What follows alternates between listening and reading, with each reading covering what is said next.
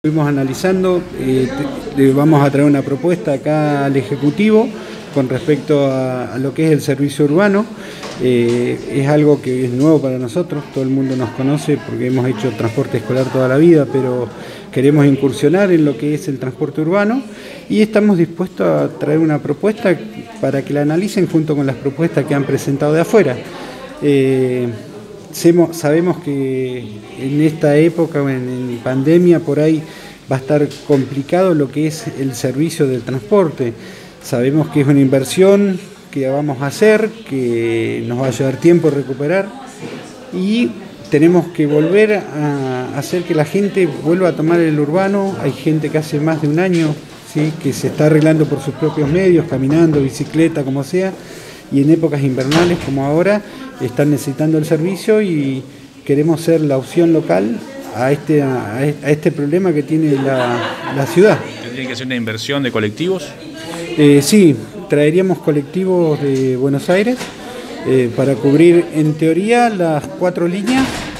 Vamos a ver si podemos hacer algún proyecto como para bajar la cantidad de líneas, para eh, por, una cuestión de, comodidad para los pasajeros, por ahí eh, bajar la cantidad de líneas, pero ampliar los recorridos y ampliar la frecuencia.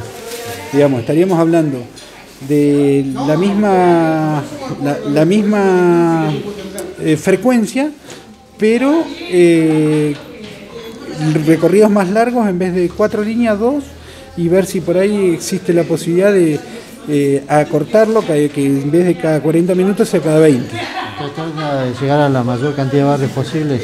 Esa es la idea, digamos. Eh, si bien eh, por ahí todavía estamos analizando, podemos llegar a poner las líneas como estaban, ¿sí? Eh, la idea es tomar la gente que quedó cesante, los choferes que andan bollando. esa es la idea de, nosotros, digamos. es un riesgo importante, ¿sí?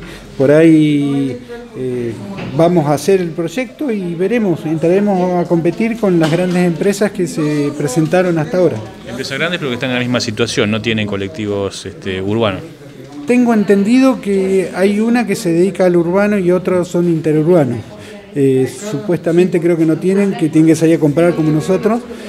Y bueno, acá por lo que es eh, las calles de Ripio, hay ciertos vehículos que no se pueden llegar a traer, como los que son de, piso bajo, eh, que son los que se están utilizando ahora para el tema de, las sillas de ruedas y demás, pero eh, acá es imposible.